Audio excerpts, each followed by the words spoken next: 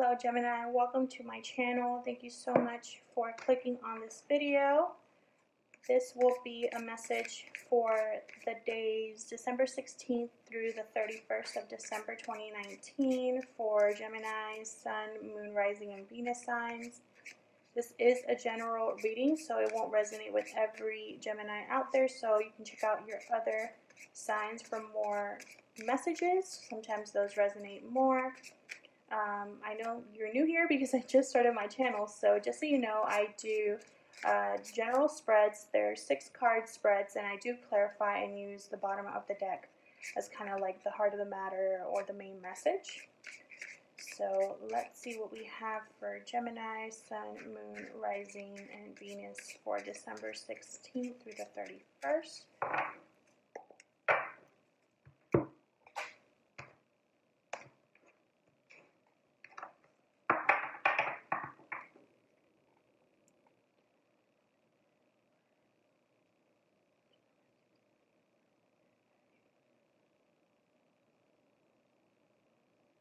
All right, let's get started. We have the Wheel of Fortune, Temperance, Nine of Cups, okay. Queen of Cups, the High Priestess. Wow, we're getting some serious major arcanas here. And the Chariot. Okay. Bottom of the deck, we have the Tower. So this is going to be kind of the main message here, which this makes perfect sense. We just had a new full moon on December 12th. Alright, so basically the first thing I'm getting here with the tower is an unexpected change or an unexpected event, something that has toppled a foundation of something. This could be related to work, a friendship, a relationship, your finances. Uh, it can mean any of those things. And um, with the tower, it's like a shakeup that had to happen in order for something new to begin. So I feel like with the tower and then moving on right to Wheel of Fortune, it's like this was meant to happen. This is divine uh, especially with temperance here as well, this is divinely guided. So, uh, Geminis, this is something that spirit and the divine wants to happen. And um, I feel like with the Wheel of Fortune here, there's like a new cycle. I almost feel like it had the tower had to happen for this Wheel of Fortune to take place. And Wheel of Fortune is, you know, the fate being on our side, the wheel turning uh, and things changing. Um, we have temperance here. Temperance is the sign of Sagittarius, but temperance is also um, kind of being balanced, being patient, waiting on the divine. This is this is an angel here that is kind of taking taking care of things. Almost like a sign that you have to let go and let God or higher power uh, take over, and you have to kind of just go with it, go with the flow. Um, I also have Nine of Cups here. So, Nine of Cups is all about wish fulfillment, contentment, happiness. This is someone that has worked really hard for those cups that are stacked behind them. And so, I feel like all of these things are kind of falling into place um, and it's all being divinely guided. So, I feel like these are very important messages. Um, and as a Gemini sun myself, I'm also a Gemini Venus. I am very excited to see this spread. Um, right here, I have the Queen of Cups. Queen of Cups, she's very nurturing, she's very loving, she's abundant, emotionally stable. Um, it could be that this is in regards to someone that you're interested in, or it could be you in a relationship, or, or just the, the, the mindset that you have right now is one of abundance and stability uh, emotionally. Maybe you've been in tune with your emotions recently, and I feel that the reason I say this because I have the High Priestess right next to it. So this is all about using your intuition, um, having knowledge, the uncovering of something, the realization of something.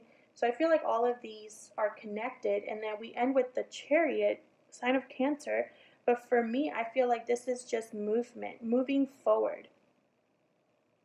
Victory. So I really love this spread. I almost don't want to clarify, but I'm going to. And I'm going to start with the Tower. Tell me about the Tower, please, for Gemini. Tell me about the Tower for Gemini. Tell me about the Tower. I really feel like this tower has to do with the, the moon. This kind of like cosmic event that's been happening for uh, Geminis in particular, um, but for everybody. Six of Wands. So I feel like this tower is going to bring about recognition, um, victory of some sort, and this is something you've been waiting for. Bottom of the deck, Three of Wands. I feel like this is all kind of connected here. Um, again, I this is a general reading, so this could be in terms of relationships, finances, work. It could mean any of those things. I feel like something has come down in order for something new to begin. Um, and it's going to bring about success. I have Six of Wands and Nine of Cups here. Ah, let's look at this Wheel of Fortune. Okay, I'm just going to take that. Wow. Ace of Pentacles just came out of the deck there. Um, I'm going to put it here next to the Wheel of Fortune because I was thinking about it as I was shuffling. Um, this is an offer. Uh, this is, could be a tangible offer of some sort. This could be a promotion. It could be an engagement. It could be a proposal of maybe starting a partnership. Um, this is just some the universe almost coming out and handing you this big coin. I really feel like with the Wheel of Fortune here, it's like divine is at play here to bring about this abundance, this huge pentacle. And for some reason, I just can't help but think that that it's almost like it was out of our hands a little bit, like we didn't even know that the divine was going to gift us something like this, or we didn't know that maybe our efforts were going to give us this type of stability, this type of financial abundance, this type of promotion. Um, I feel like this is something that Gemini's you've been thinking about and wishing for with Nine of Cups here, but something just keeps telling me that it, it's even better than you imagined. Um, bottom of the deck, I have the Seven of Wands, so this could be standing up for something that you believe in, um, standing up, uh, kind of like not giving up, fighting. And I feel like with the Seven of Wands here, it's almost like you didn't give up on this dream, this idea of what your life could be like. You haven't given up on the future that you've set for yourself and what you've worked hard for. And I feel like because we've been like protecting ourselves and guiding ourselves and, and standing up for ourselves and what we believe in and want, I feel like the universe is now rewarding Geminis. Tell me about Temperance. Temperance is one of my favorite major arcanas. Um, not only is it like beautiful imagery, but it's just such a feeling of zen and, um, you know, like a very balanced energy. This person is not worried about anything, they just trust and let go. And I feel like it brings about this peace that I think a lot of us are looking for. King of Cups. So maybe you've been waiting for a King of Cups. This could be you, this could be someone you are um, in some sort of partnership or union with. Um, it could also mean that, I mean, you could be waiting for someone like this to be in your life, or you could be waiting to be this person. King of Cups is someone who is very emotionally grounded, in tune with their emotions, um, successful. Just because they're an emotional person and they can tap into their emotions doesn't make them any less of an authority figure. I mean, this is a king, right? He has also a big cup in his hand, and I don't think that it's an accident that we have temperance here with two cups back and forth. Um, I feel like also this could mean that this is a new emotional, um, um, your emotions are healthier now. You're in a, in a healthier mindset, a healthier um, spiritual level. Um, and it could have been brought about by this moon, or it could just be that, you know, circumstances have made it so that in your past, you maybe had to deal with some things. You've had a tower moment that's either happening or about to happen, and I feel like you're going to be uh, in a better mind mindset to to handle whatever's coming your way. It's beautiful energy. Under the deck, we have the Queen of Wands. I'm sorry for the glare, you guys. These cards are very glossy, and um, I'm right in front of a window. So, Queen of Wands, this is somebody that is a go-getter. Um, they take action. They are very passionate about what they believe in and go after their dreams. And I love that this is right with a queen of a king of cups energy because like I've been saying, just because you're in tune with your emotions, and there's strength in that. Um, sometimes when we're in tune with our emotions and we know what we want and we can single out the dreams that we're trying to achieve, we are more successful. Tell me about this Nine of Cups. Tell me about the Nine of Cups, please, for Gemini. Tell me about the Nine of Cups. Ten of Wands. I feel like that with the Ten of Wands, this is somebody that, um, first of all, I think it's very important that this is a 10. Tens are all about completion, ending of something.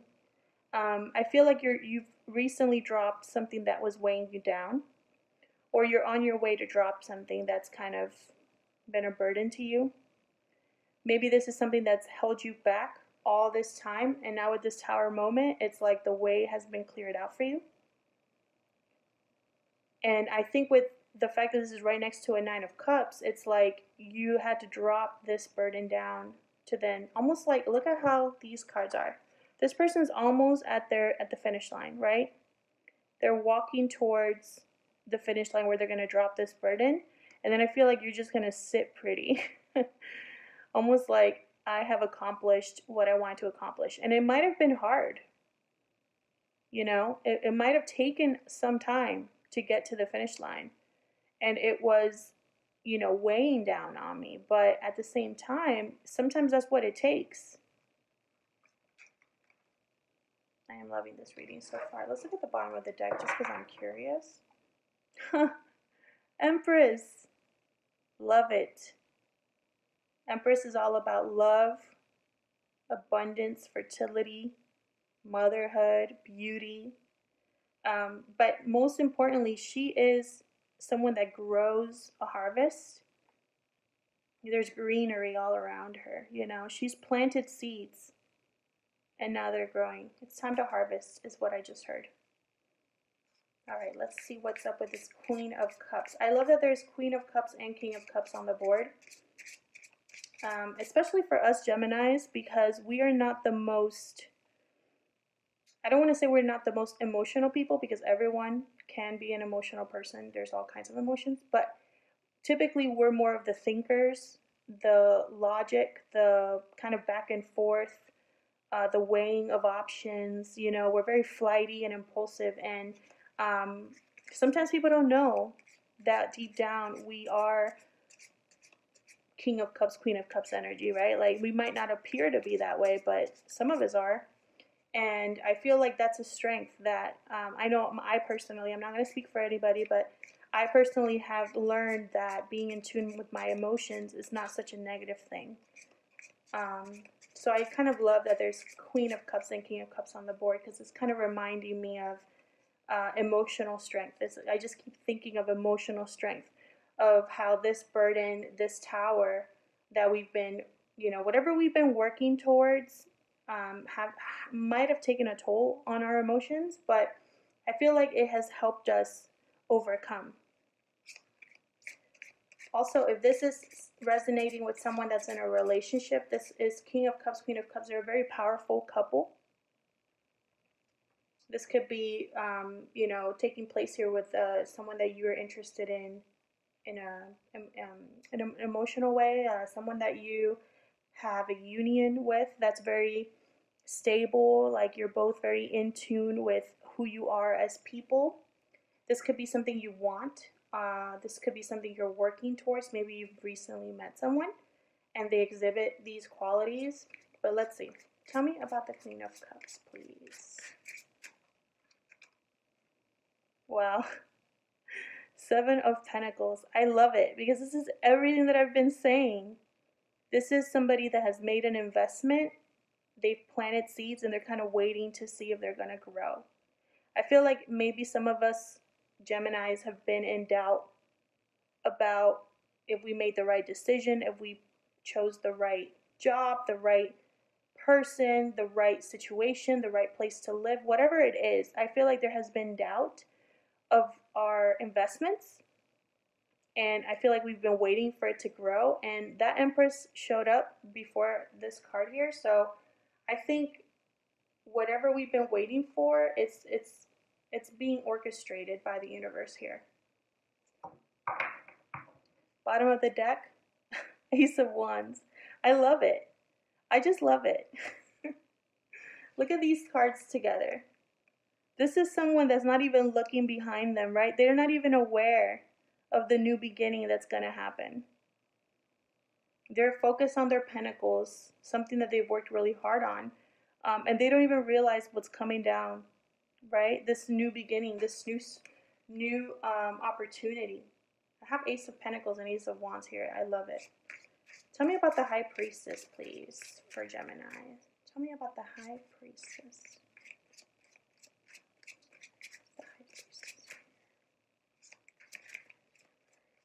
About the High Priestess.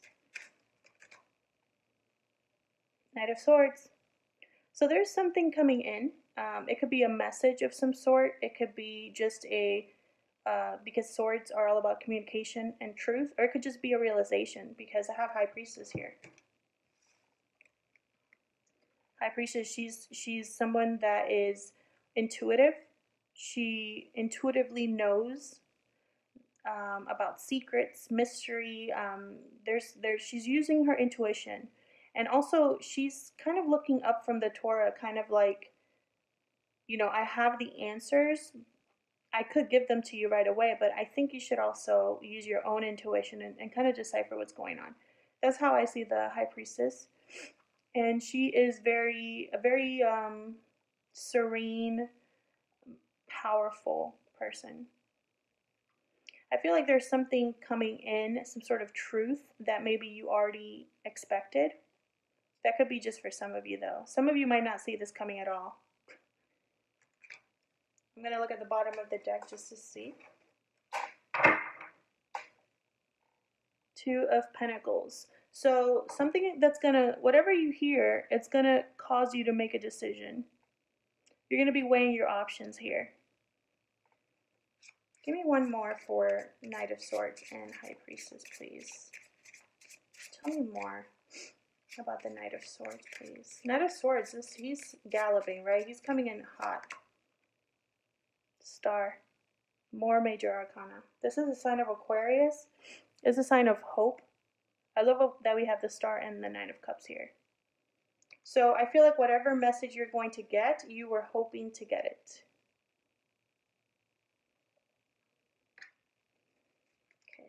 Look at this chariot. Let me just move this over.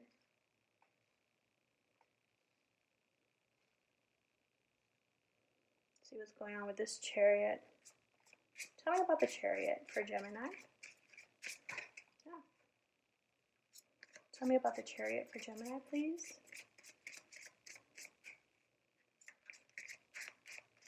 There's a chariot here. Page of Wands. I feel like yeah, you, yeah, you are definitely taking action. Probably because of this news and this tower. Um, bottom of the deck, Ten of Cups. I love it. I love that we have Nine of Cups and Ten of Cups on this deck. A lot of cups, guys. um, I feel like with the Page of Wands here, this is somebody that could be interested in you romantically, or it could just be that you are ready to take action on something. This is the spark of something. Let me see what kind, if I can get one more card. Give me, and I feel like whatever this spark is, is going to bring you this Ten of Cups. Um, utmost happiness, fulfillment, joy, family. Ten of Cups to me is like, um, kind of like you've reached the pinnacle, right? And it's another 10, by the way. Tell me about the Page of Wands. Tell me about the Page of Wands, please. Three of Cups.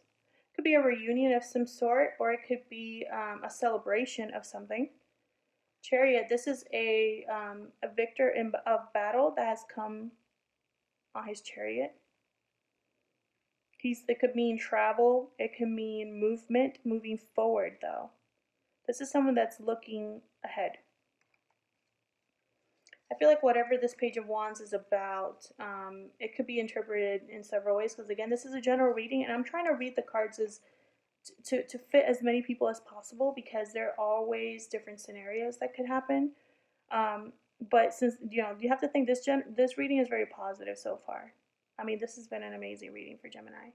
Uh, for the last two weeks of December. And I feel like with this Three of Cups, like these are people that are getting together to celebrate, to toast, um, they're partying they're you know this is this is all about kind of coming together to to celebrate and i think also with the six of wands here very similar energies here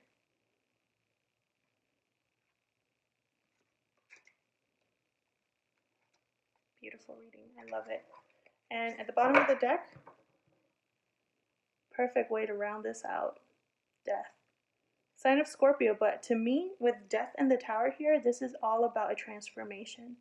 I feel like a transformation that has been brought about is divinely guided and was probably began or probably began because of this moon on December 12th.